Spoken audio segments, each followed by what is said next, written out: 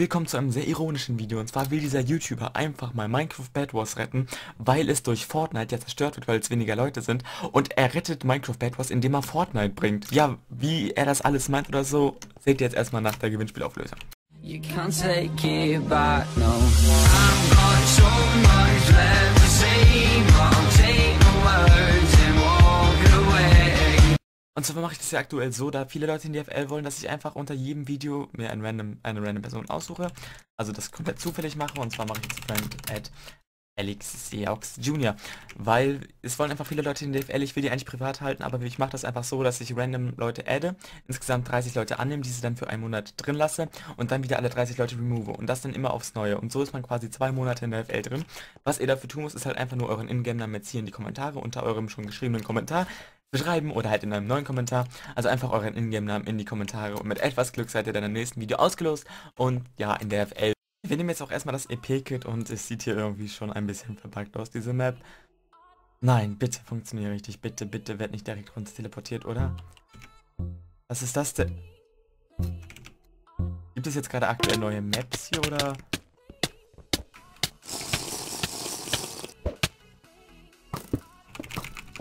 Okay, Gomez ist gerade leicht verpackt und zwar sind diese Maps hier einfach komplett vollgebaut. Ja, aber worum es in diesem Video geht, und zwar der YouTuber, der sich ja eigentlich, wie man sagen kann, schon an Betzkes Namen hochgezogen hat, und zwar Betzke FNA. Der hat sich ja so ein bisschen an Betzke HD hochgezogen. Meines Erachtens nach hat er halt einfach nur diesen Namen ausgenutzt und sich damit hochgezogen. So, das ist komplett nur meine Meinung. Ihr könnt eine andere Meinung haben. Aber ist halt, wie gesagt, einfach meine Meinung, dass er sich daran hochgezogen hat. Und wir können hier auch keine Blöcke abbauen. Und diese Runde ist ja mal mega verbuggt. Wir spawnen einfach... Keine Ahnung wo. Wir können hier auch nicht schlagen. Okay, diese Runde ist einfach mal komplett mega verbuggt. Wir können hier weder Blöcke abbauen oder so, noch sonst irgendwas, weil das schon gesetzte Blöcke sind. Ja, ich werde am Ende aber noch darauf reagieren, auf sein Video. Und zwar werde ich das in den Browser gehen, werde ich ein bisschen auf sein Video reagieren, weil er hat nämlich einfach gesagt, er will jetzt einen Fortnite-Kanal machen und hat jetzt einen Zweitkanal. So, diesen Zweitkanal sollte man abonnieren, denn dort kommen Fortnite-Videos, Fortnite-Clips und ähnliches. Und er will es dazu den 100k schaffen. Aktuell hat er, glaube ich, 1200 irgendwas Abonnenten. Und er will es dazu den 100k schaffen und sobald dieser Kanal auf 100k ist, will er damit in die Bad Wars Szene reingehen, um so die Bad Wars Szene, sage ich mal, ein bisschen bekannter zu machen und die Bad Wars Szene zu retten. Meines Erachtens nach gibt es eigentlich nichts zu retten. Ich meine, gerade haben vielleicht ein paar Leute mehr Bock auf Fortnite, aber das wird sich auch widerlegen. Ich glaube nicht, dass nämlich Fortnite ein komplettes Hype-Game ist. Aber auch wenn, dann sollen diese Leute doch Fortnite spielen. Dann, dann lasst sie doch spielen, was sie wollen. Und dieses, diese Aussage mit Minecraft geht unter oder sowas, finde ich komplett lächerlich, weil jetzt ein paar Leute Fortnite spielen. Meines Erachtens nach ist diese Szene einfach noch komplett existent und kann auch koexistieren mit Fortnite. Wenn man halt nämlich an einem Tag mehr Bock auf Fortnite hat, dann spielt man halt Fortnite. Diese Leute werden aber auch nicht alle Minecraft quitten. Natürlich gibt es jetzt die ein oder anderen YouTuber, die jetzt erstmal Minecraft quitten und Fortnite spielen. Und es wird auch die ein oder anderen YouTuber geben, die auch nicht wieder zu Minecraft zurückkommen. Aber es wird immer wieder neue Leute geben, die in die BW-Szene kommen. Und ich meines Erachtens nach stirbt diese Szene nicht aus. Und wir können hier gerade relativ wenig tun. Leider ist das Problem, weil der letzte hier eingebaut ist und es buggt wieder ein bisschen rum. Ist halt wie gesagt der neue Modi aufkommen, kann man auch nicht übel nehmen. Es buggt halt ein bisschen, aber man kann es eigentlich nicht übel nehmen. Es ist halt, der ist, der ist komplett neu draußen, es gibt halt noch Bugs oder sowas, aber ich habe auch schon mit dem Dev geredet und Test und alles und sie sind da wirklich die ganze Zeit am machen und da kann man das nicht übel nehmen, weil die Devs sind da wirklich die ganze Zeit am machen und gucken halt jeden, äh, jeden Bug Report durch. Deswegen sollte man auch immer, wenn man einen Bug findet, ihn einfach mit slash Bug Report reporten und ich hoffe, der letzte lief jetzt mal, weil ich will jetzt ungern direkt nochmal eine neue Runde gehen dann einfach diese Runde beenden, die Runde gewinnen. Und aber diese Runde ist halt einfach mega, mega verpackt. Jetzt hätte ich gerne eine EP. Ja, ich hatte das EP-Kit. aber was ich aktuell sagen muss, ist, dass ich wirklich einfach mega, mega dankbar bin für den krassen Support. Weil es kommen einfach gerade mega viele neue Leute dazu. Und es, man kann es ja sagen, wie man will, es freut einen einfach mega und gibt einem einfach mega die Motivation, noch aktiver zu sein und kann man halt sagen, wie man will, aber es gibt einen halt einfach Motivation, wenn neue Leute dazukommen und da wirklich direkt nur nette Kommentare kommen, hey, ich feiere deine Videos und sowas. Und ja, kann man sagen, was man will. Das gibt dann einfach die mega Motivation. Und ja, ich weiß jetzt nicht, ob wir diese Runde irgendwie noch beenden, da die Runde jetzt ein bisschen lang geht, werde ich wohl wahrscheinlich nach dieser Runde jetzt direkt zu dem Gameplay-Teil rübergehen, also nicht zum Gameplay-Teil, sondern zu dem Browser-Teil. Und zwar ist dieser YouTuber, wie schon genannt, Betzke FNA. Betzke FNA ist, hat gerade ungefähr 7000 oder 8000 Abonnenten und bringt halt eigentlich eher Texture Pack Videos. Äh, jetzt will er halt jedoch einen Fortnite-Kanal mit 100.000 Abonnenten aufbauen, um die Battle-Szene so ein bisschen zu erneuern, zu revolutionieren, zu verstärken und meines Erachtens nach ist es einfach überhaupt nicht nötig, weil, und es wird auch überhaupt nichts bringen und das zeige ich euch gleich nochmal im Browser, warum es einfach überhaupt nichts bringen wird. Und ja, ich hoffe, du siehst diese Kritik dann auch. Also nicht Betzgeffener, weil es wird nichts bringen, kann ich dir schon mal im Vorhinein sagen. Und diese Runde ist dann doch beendet. Ist leider noch ein bisschen buggy, deswegen gehe ich noch einmal kurz in eine Stickfight-Runde, bevor wir uns gleich im Browser hier wieder treffen. Wir kennen jetzt erstmal den hier. Wie gesagt, die Leute auf Gomme sind halt noch nicht die besten oder sind nicht die allerbesten, weil jeder random oder sowas, sag ich mal, spielt jetzt diesen Modi gerade. Und da sind halt ziemlich viele, naja, die nicht so gut sind, aber ich kassiere gerade selber. Von daher müsste ich eigentlich, dürfte ich eigentlich nichts Aber ja, die sind halt alle jetzt nicht wirklich so atemberaubend komme. Also die aktuell, die jetzt hier spielen, weil hier halt gerade jeder diesen neuen Modi spielt. Auch wenn ich gerade selber gegen ihn hier mega verkacke. Und ja, trotzdem ein bisschen oder komme leck, weiß ich nicht. Aber ich werde jetzt auch noch kurz dieses hier bis 10 machen und dann äh, sehen wir uns gleich im Browser wieder. Ah, äh, wieso nehme ich meine Videos eigentlich immer so mega äh, uneingespielt auf? Das sollte ich mal irgendwie, wenn ich mich, ein, wenn ich mich einspiele, dann sollte ich mal eher die Videos aufnehmen und, oh, ich habe schon die 10, habe ich gar nicht gemerkt. Dann kill ich dich noch einmal und so, wir sehen uns jetzt im Browser wieder. Aber Forbes sei noch gesagt, er hat dieses ganze, diese ganze Thematik in einem Video aufgenommen, wo er das Mrs. DNA 75k Pack geleakt hat. Ich weiß nicht, ehrliche Meinung, sowas wie Texture Packs liegen ja auch, wenn man das bei einem Abo-Ziel macht, mache ich ja auch gerade das war mit 20k Pack. Habe ich anfangs kritisch gesehen, aber ich finde das eigentlich gar nicht so schlimm, dass man dann wirklich sich so ein Ziel setzt, dass die Community, sage ich mal, mit eingebunden wird. Auch wenn es natürlich jetzt um Abos geht, sowas, aber ich finde es trotzdem nicht wirklich schlimm, weil du bindest deine Community mit ein für dieses Pack und solange du wirklich immer weiter an diesem Pack arbeitest und einfach fertig hast und dann sagst, ja jetzt bei 75k wird es released, ich arbeite jetzt zwar schon seit vier Wochen nicht mehr dran, Sowas finde ich halt ein bisschen unnötig, aber wenn man sich sagt, bei einem Ziel, wenn man, man steckt viel Arbeit in das Pack und sich dann, sag ich mal, bei diesem und diesem Ziel wird es dann released, finde ich es eigentlich ganz okay. Ist ja genauso wie mit dem WMS 20k Pack, ich arbeite da auch wirklich noch täglich dran, wie, zu, wie, zum Beispiel der Himmel oder so, der ist noch gar nicht gemacht und an dem Himmel muss ich wirklich noch komplett arbeiten. Das hier ist aktuell das WMS 20k Pack, aber hier sind auch noch ein paar Texturen, die ich auf jeden Fall noch verändern muss und ja, auch noch ein paar viele, aber Momentan ist es eigentlich schon relativ gut spielbar, aber es gibt halt wie gesagt so ein paar einzelne Texturen wie das dahinter oder so, was ich noch bearbeiten muss. Aber das ist jetzt egal, wir gehen jetzt nämlich einfach in den Browser und dann gucken wir uns das Video von Petske FNA an. Und Leute, ihr wisst nicht, was ich gerade gemerkt habe. Ich habe dieses ganze Video gerade tatsächlich in einer Monitoraufnahme aufgenommen, weil ich eben noch das Gewinnspiel gemacht habe. Das bedeutet, entweder werde ich jetzt dieses Video ein bisschen runterschneiden, dann sieht es aber komisch aus, aber ich glaube, ich werde es einfach so im Vollbild lassen, weil sonst wird es einfach mega komisch aussehen, wenn ich oben und unten die Ränder abschneiden würde. Und dann wäre es einfach gar nicht mehr sichtbar. Also ich lasse, glaube ich, dieses Video einfach so. Das ist leider meine Monitoraufnahme. Tut mir leid für diesen Fail auf jeden Fall. Und ja, wir gehen jetzt doch nicht zur Monitoraufnahme rüber, denn wir haben die ja schon an. Und ja, wir sehen uns jetzt im Browser wieder, wenn wir das Video vom Batscape A erstmal öffnen. Ja, und erstmal an dich, Betzgeffiner. Ich hoffe, du bist Ehrenmann und lässt dieses Video hier nicht striken, weil du redest ja in diesem Video auch von Bad Wars Community Zusammenhalt, dass man diese Szene größer macht. Und ich glaube, wenn man einfach random irgendwelche Leute striken lässt, wird das nicht wirklich dazu viel beitragen. Also ich hoffe, du bist Ehrenmann, lässt das Video nicht striken, sondern ich will so ein bisschen zu dem Thema sagen, warum es überhaupt nichts bringen wird, wenn du irgendeinen Fortnite-Kanal auf 100k hochboostest und den damit in die Bad Wars-Szene bringen willst. Deswegen hört sich schon mal ziemlich verrückt an, aber ich kann euch erstmal sagen, warum das überhaupt nichts bringen wird. Wir werden jetzt etwas wir haben jetzt etwas vor, wo wir ähm, Bad Wars wieder hypen lassen. Ich release zwar das Pack, aber Leute noch nicht den Download herunterladen, denn es ist wichtig, ich werde den Download halt um 20 Uhr stellen, damit ihr das Video seht, weil das Ding ist, ähm, Ja, wie gesagt, ich finde diese Aktion, dass du das Pack leaks, nicht wirklich gut oder so. Klar willst du diese Thematik damit so ein bisschen hypen lassen und es ist natürlich klar, wenn du das Pack leaks, das Video wird viele Aufrufe haben und damit kann deine Thematik auch besser äh, promoted werden, aber ich finde es allgemein solche Packs leaks oder sowas relativ unnötig und es ist doch einfach nur nervig, weil es, hm, es wird sich ein Ziel gesetzt und sowas und die Community oder so braucht dann dieses Ziel nicht, sag ich mal, und dann das einfach zu leaken, keine Ahnung, das finde ich einfach unnötig. Dann lass die Leute sein äh, ihr Ding machen und Übrigens, Wem ist back bei 20k, Wem ist 20k back.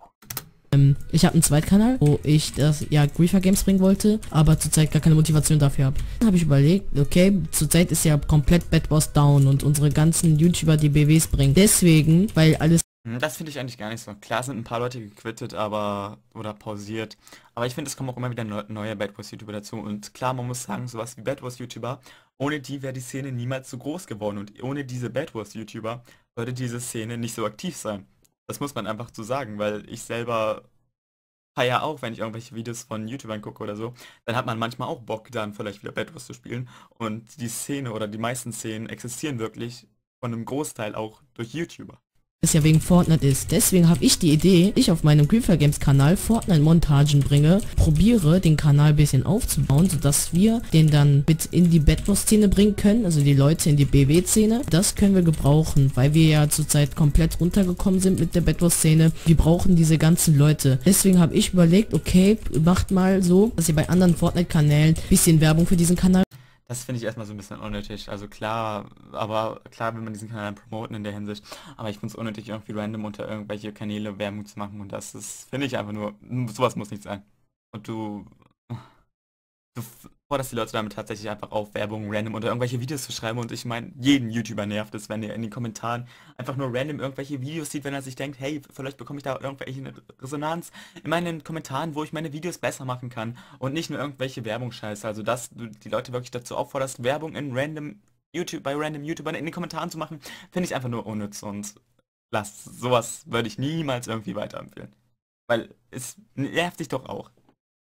Du willst Resonanz für dein Video, wo du dich verbessern kannst, du bekommst dann nur random Werbung von irgendwelchen Leuten. macht, also nicht Werbung macht und sondern ähm, einfach mal äh, eu euren Freunden oder sonst wen zeigt, dass ich einen Fortnite-Kanal habe, der Ja klar, den Freunden zeigen oder sowas, aber in, irgendwie Werbung unter Videos machen, ich nicht so. äh, ist übrigens verlinkt. Den findet man zurzeit mit Batscav nach Griefer Games, wenn man das so auf in die Google-Suche bzw. YouTube-Suche sucht. Denn es ist wichtig, wenn ihr wollt, dass komplett Bad Wars wieder hypt, dann macht mit. Wenn ihr wollt, dass wieder Bad Wars äh, hypt, macht einfach mit. Dann Das finde ich dieses Ironische. Er sagt, diese Szene stirbt auch größtenteils, äh, größtenteils aus, weil die ganzen YouTuber quitten oder woanders hingehen und diese YouTuber spielen dann teilweise Fortnite, sag ich mal, wie Kicking Konter. Der hat jetzt irgendwie auch pausiert oder aufgehört und bringt, äh, spielt halt selber privat nur noch Fortnite. Und du sagst damit einfach, dass man diese Szene, weil sie gerade nicht mehr so existent ist und ein bisschen kleiner wird, dass man die durch Fortnite retten sollte, weil sie wird durch Fortnite, sag ich mal, nach deiner Meinung nach ausgelöscht. Und deswegen sollte man diese retten, indem man Fortnite bringt. Das, das ergibt für mich eigentlich relativ wenig Sinn. Aber ja, ich, ich weiß, worauf du hinaus willst, aber ich sag dir nochmal, warum das einfach kompletter Quatsch ist, sage ich dir gleich am Ende nochmal. Haben wir die Idee, wo wir dann wieder Bad Wars die Szene zurückbringen und dabei wieder zu viele User haben und wieder BW spielen können. Aber das schaffen wir alles nur mit euch, weil wenn wir euch jetzt nicht haben, dann passiert nichts. Und allein nur wegen euch, dann würden auch die ganzen YouTuber, wie zum Beispiel Flow und so wieder hypen. Weil wir brauchen die YouTuber, das sind unsere ganzen Hilfen. Und ähm, ihr seht übrigens, ich habe einen Stick. Auf jeden Fall, ähm, Leute, ich habe das Bett nicht gemacht, weil das, sonst ist das Pack nicht legendär. Ich wollte korrekt bleiben, ja. Und auf jeden Fall Eine korrekte Sache mit dem, Pack, mit dem Bett oder so. Aber ob es daran liegt oder weil du es nicht geschafft hast, weiß ich nicht, aber will dir jetzt nichts vorwerfen, aber trotzdem, so ein Bett, so ein Texture-Pack liegt, finde ich nicht so okay. ähm, wenn ihr wollt, dass Bad Wars wieder komplett äh, durch die Decke wieder geht, dann müsst ihr mitmachen. Es könnte sein, dass sogar der Kanal auf 100k kommen könnte, wenn mit Glück, aber mit Glück könnte der auf 100k kommen, weil zurzeit ja bei, äh, Fortnite so krass gehypt ist, dann kann man alles schaffen. Und jetzt kann ich euch einmal kurz die Thematik vorführen, warum es überhaupt nichts bringen wird, wenn dieser Kanal auf 100k ist. Dieser Kanal ist, ich muss Ihnen einmal kurz das Video gehen auf seinen Kanal, dieser Kanal ist lediglich für Fortnite. Okay, gut. Was wir bei diesem Kanal direkt merken, Red Summer Fortnite Montage, Epic Fortnite Montage, äh, Myth, oder wie dieser Fortnite-Spieler heißt, Myth, keine Ahnung, äh, Best Kills, Epic Fortnite Montage. Ähm, wir sehen hier direkt, das ist englischer Content und damit auch internationaler Content. Und was bringt es denn internationalen Content, wenn du auf einmal diesen Kanal pausierst und die da auf einmal deutsche Minecraft Bad Wars Videos sehen? Natürlich, das mit 100k, sage ich mal, ist sogar gar nicht mal so unvorstellbar, weil es ist ein englischer Kanal, wo es aber nicht auf die Stimme drauf ankommt wie Montages oder sowas und das ist in, auf internationalem Raum. Und natürlich spricht man dort eine viel größere Community an, das ist klar. Aber es wird überhaupt nichts bringen, wenn du dann deutschen Minecraft Bad Wars Content bringst. Es wird überhaupt nichts bringen, wenn du auf einmal alle deine Fortnite-Videos machst, dann wirst du auch, dann werden deine normalen Bad Wars-Videos keine Aufruhr mehr haben und so kommen auch keine neuen Leute in die Szene. Weil was bringt einem internationaler Fortnite-Content für Minecraft Bad Wars? Ich glaube kaum, dass dort irgendein Russe, der den ganzen Tag Fortnite irgendwie mit seinen, keine Ahnung was ganz zockt, dass er dann auf einmal die Szene quitten wird und auf einmal Minecraft Bad Wars spielt. Das ist meines Erachtens auch einfach komplett unüberlegt. Also wenn du dich komplett hier auf internationalen Content festlegst, weil du hast ja auch schon, das hier ist glaube ich ein englischer oder keine Ahnung, französischer YouTuber oder so.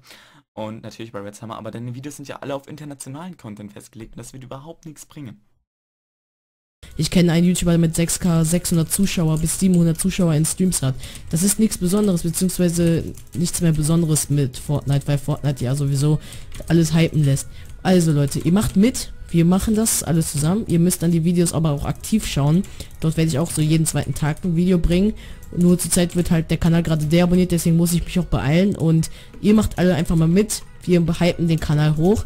Und äh, mein Hauptkanal mache ich immer noch weiter, so wie immer. Also von daher bleibt einfach mal aktiv. Ich werde dann vielleicht auch meine jetzigen Videos dann einfach damit extra verlinken, damit wir extra noch Views bekommen. Beziehungsweise halt deswegen auch so das mache, damit ich halt die BW-Szene aufbaue. Also macht mit und es ist eine ganz süße Idee, wie er das vorhat, aber ich sag einfach, das bringt überhaupt nichts. Es wird vielleicht werden drei neue Leute dazukommen, aber ich sage, es bringt doch überhaupt nichts auf einem internationalen Montage Fortnite Kanal nachher Minecraft Bad Wars zu bringen. Dort wird keiner rübergehen in Bad Wars und meines Erachtens nach ist es eh nur so eine Zeit, wo es gehypt ist, wenn Fortnite jetzt nicht extra was macht. Sie haben jetzt zwar den 20 vs 20 Modus äh, rausgehauen. Aber meines Erachtens nach wird in sechs Monaten dieser Hype vorbei sein.